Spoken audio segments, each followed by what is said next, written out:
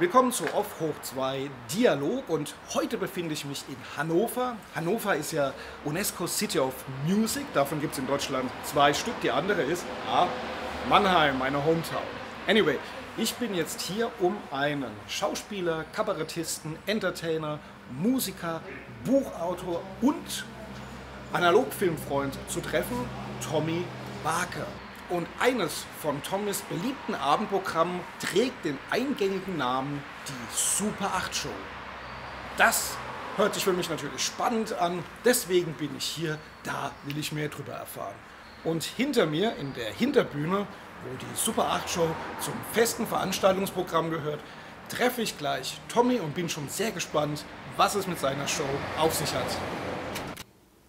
Hallo Tommy. Hallo Joachim. Du bist ja sowas wie ein kreativer Homo Universalis.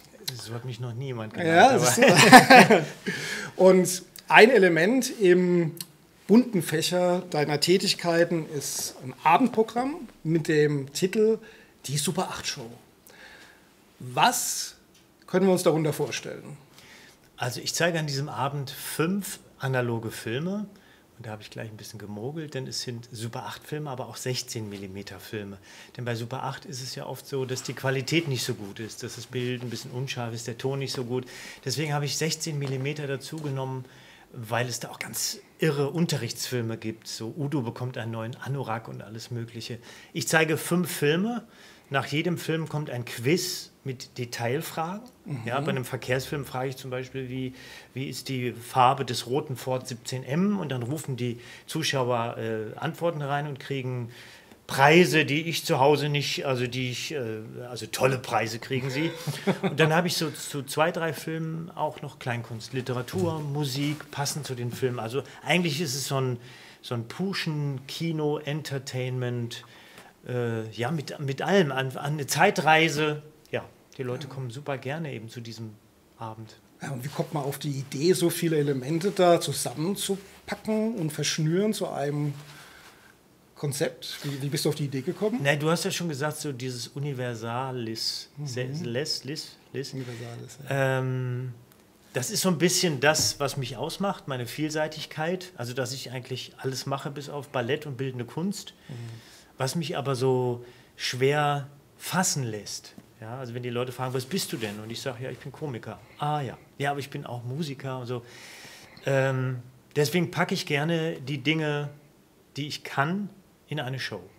Und das war da eben äh, genauso eben, dass ich dachte, ja, eine Filmshow wäre super und dann da packst du alles rein, was du kannst. Mhm.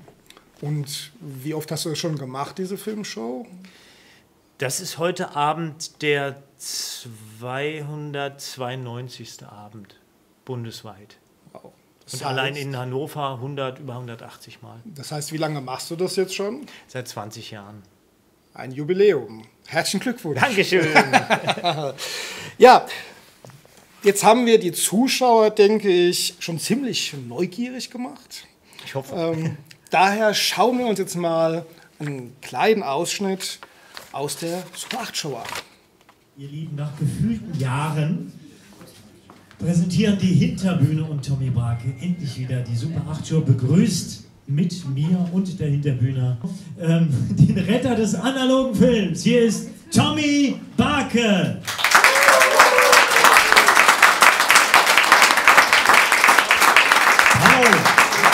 Okay, dann starten wir mit dem ersten Film.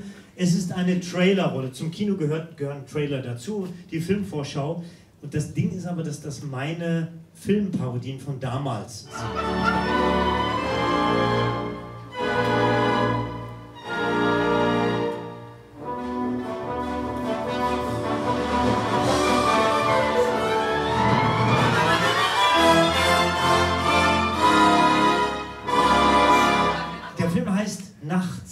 Wir sehen mit in ästhetischen Bildern und äh, experimenteller Musik, was alles so nachts passiert. Gedanken, Wünsche, Worte, Nachrichten sind unterwegs. Weiße Mädchen, gelbe Teufel. Stellt euch vor, ihr sitzt vor eurem Liebhaber und streichelt seinen. Naja, ihr wisst schon. Chinesen alle so umständlich bumsen, verstehe ich nicht, wie die auf 600 Millionen gekommen sind. Die Handbewegungen der Frauen zeigen jedoch eher ein pantomimisches Spiel einer Harfe. Der Piratenchef, welche Stellung möchtet ihr aus dem Buch äh, ausprobieren? 37. 37. Du bekommst die Broschüre Laborarbeit im Wandel. Yeah, come on, listen to this. Das auf dem Bild ist der Max, der hat Löcher in seinen Zähnen. Darin wohnen zwei kleine Bösewichte, der Karius und der Baktus. Manche Leute sagen von mir, ich hätte Mundgeruch. Doch das, das ist ja purer Neid. Dann stecke ich mir erstmal eine Bürste rein. Dann ist jetzt erstmal Toothbrush-Zeit. Tampon, Tampon, Junge Tampon. Du bist ja so schön, bist du wirklich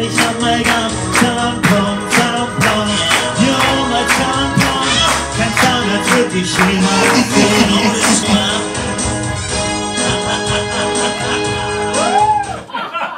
Ich habe auch noch Stricken 2 und auf Super 8 Nähen 1 bis 4. Die haben eine Piccolo Pop Staffel gemacht. Pop ist Populärstaffel. Also neun Minuten. Ihr wählt diesen Film und seid dann auch dafür verantwortlich. Django, sein Hass ist töten.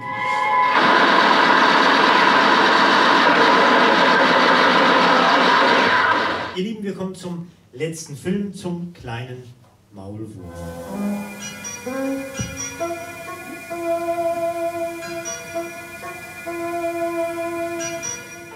Auf Wiedersehen, ich muss jetzt gehen. Auf Wiedersehen, es war so schön. Ich weiß, das ist jetzt eine Sauerei. Die Super 8 Show ist jetzt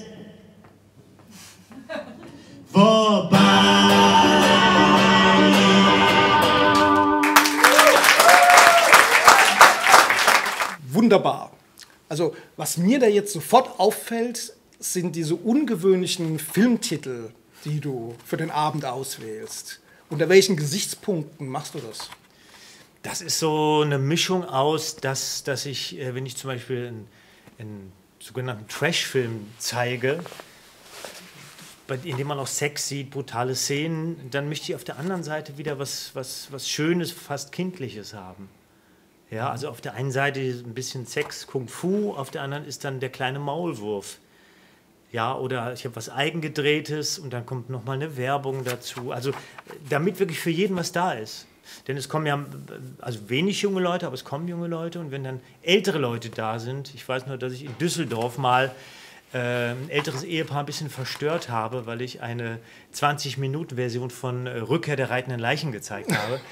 äh, und deswegen will ich versuchen, ja, das ist so ein bisschen, eigentlich möchte ich, dass mich alle mögen so. Und wenn dann immer mal alle Jubeljahre mal einer geht oder so, dann ist das immer ziemlich komisch. Aber die gehen meistens nach sowas wie Rückkehr der reitenden Leichen. Okay. Und die Älteren dann. Nein, also ich will wirklich ein schönes, kompaktes Programm zusammenstellen. Du hast jetzt gerade gesagt, dass da jüngere und ältere Leute kommen. Kannst du dein Publikum irgendwie, kann man das irgendwie definieren? Oder? Ja, das kann man. Es ist heutzutage tatsächlich so, dass dieses typische Kleinkunst-Kabarettprogramm so ab 40 losgeht. Und so, so im Durchschnitt vielleicht so 65, 70. Also eher so 45 bis 65. Also ist meine Erfahrung.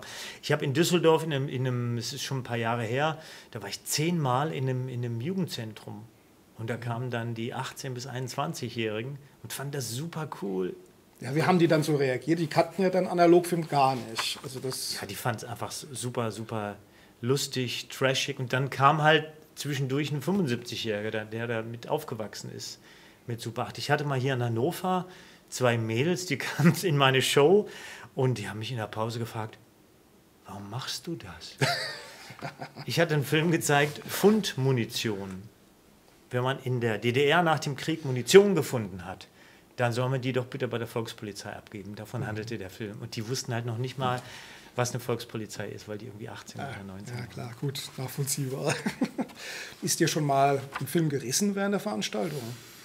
Oh ja, also ich bin ja, äh, mache das, diesen Job ja seit über 30 Jahren als, als Entertainer. Ähm, aber wenn dann was irgendwas mit der Technik ist, das ist so, un, so unberechenbar. Und ich bin eben kein Technikfan. Freak. Das heißt, ich kann das alles bedienen, aber ich kann sie nicht reparieren. Mir ist einmal ein Projektor ausgefallen und da habe ich auch nicht mehr hinbekommen. Da musste ich irgendwie auf den anderen Projektor äh, dann umschwenken. Äh, Filmriss auch, da habe ich dann einen anderen vorgezogen und habe ihn in der Pause geklebt. Also ich habe schon Klebepressen dabei und auch Ersatzlampen und sowas. Aber da ist immer irgendwie, uh, bei einem Auftritt sind mir mal drei Sachen passiert. Die Leute stört es gar nicht, weil ich dann oben, oben irgendwas rede. Das heißt, ich fummel da irgendwas mit dem Film und rede mit den Leuten, äh, um das zu retten. Und für die Leute ist es gar nicht so schlimm. Aber für mich ist, wenn irgendwas äh, nicht klappt mit der Technik, ist es schlimm. Hier auf der Bühne kann immer was passieren, weil ich dann improvisiere. Wenn ich mich versinge, na und, egal. Ich, Stressfaktor geht dann sofort nach oben. Ne? ja, ja, also bei der Technik, ja. Und wenn wir dann gleich bei den unvorhergesehenen äh, Geschichten sind, hast du irgendeine schöne Anekdote, die du erzählen kannst aus der Super 8 Show? Historie. Ja, mein bester Freund aus Berlin, ich nenne den Namen mal nicht, hat mich in Rostock besucht. Da hatte ich eine Super 8 Show, natürlich auch mit ein bisschen DDR-Thema und äh, Mann und Frau intim von äh, Dr. Schnabel oder Professor Schnabel. Das war, Oswald Kolle war im Westen und der war ziemlich so nach außen plakativ und Dr. Schnabel hat das sehr wissenschaftlich gemacht. Und der taucht im Film auf, aber vor dem Schnabel war ein DDR-Paar, Anfang der 80er, die ihr, äh, ihr Zimmer tapezieren und sich dabei über ihren Orgasmus unterhalten. Und mein Freund ist nach Rostock gekommen und hat da eine russisch anmutende ukrainische, ich weiß nicht mehr ganz genau, getroffen und er wollte etwas von ihr und sie war sehr spröde eher. Und dann hat die diesen DDR-Aufklärungsfilm gesehen, der auch aus dem Osten kam. Und danach ist sie mit ihm ins Hotel gegangen. Aha. Also, Okay, was mein äh, Abend alles bewirkt. Zeigst du den öfters? Eigentlich nur beim Schmuddelabend. Also ich habe ja Themenabende. Ne? Ja, Fußball, äh, Schmuddelabend, ich kann den Westernabend machen, Musikabend.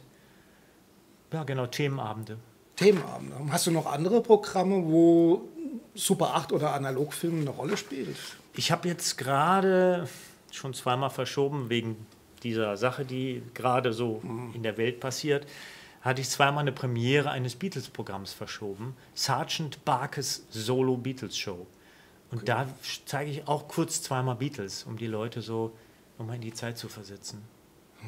Aber das ist dann jetzt nicht eine spezielle Filmshow, sondern mehr so eine Allround-Beatles-Show. Über Beatles. Ähm, viel Erfundenes. Ähm, ich habe zum Beispiel erfunden, dass es ähm, äh, zur gleichen Zeit eine Gruppe The Beatles und auch The Titles gab, Okay. die nur äh, äh, Strawberry Tea Forever, äh, Baby You're a Team, äh, egal, also nur Titel äh, mit T. Und da habe ich eine BBC-Radiodokumentation aufgenommen. Habe halt, hab dann ein Interview geführt mit einem von den Titels.